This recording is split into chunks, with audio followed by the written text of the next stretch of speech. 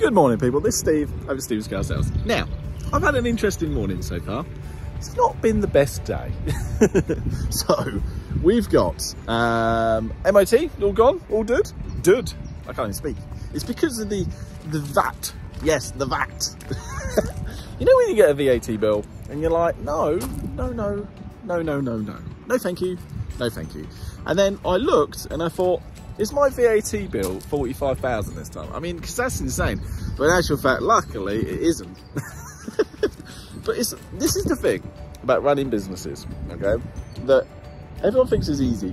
It is easy, but it's just bills, man. Bill, I hate bills. Why do we need bills in our life? Um, but yes, luckily, no, that was just me. Turnover that period was uh, 450,000. I read it at that and I was like, oh, okay. And you're like, Steve, man, you must be rocking it. Yeah, but it all comes from bills, man. Bills. So, in actual fact, no, my VAT bill for that bit, that portion, was, uh, is that how much my VAT bill just come in?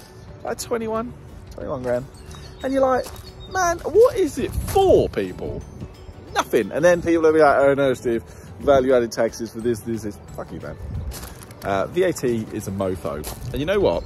What it's doing is it's crippling businesses because, you know, the, the, world has changed, man. It's gone. You know, it's just, it's mental how much small businesses have to pay. Because I'm a small business.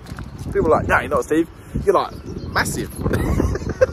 no, no, no, not massive. I like to keep it nice and Stevie way. Yes, I like a nice Stevie way business. So, I don't know, man. I've been umming and ahhing. I'm like, seriously, do I need this grief in my life?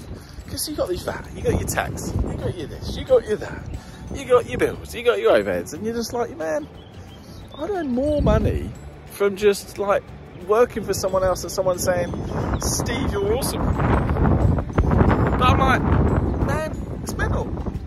So, what we need to do is I'm going to come up with a new business, okay? The new business plan is how to avoid VAT. you ain't getting away from that. No way.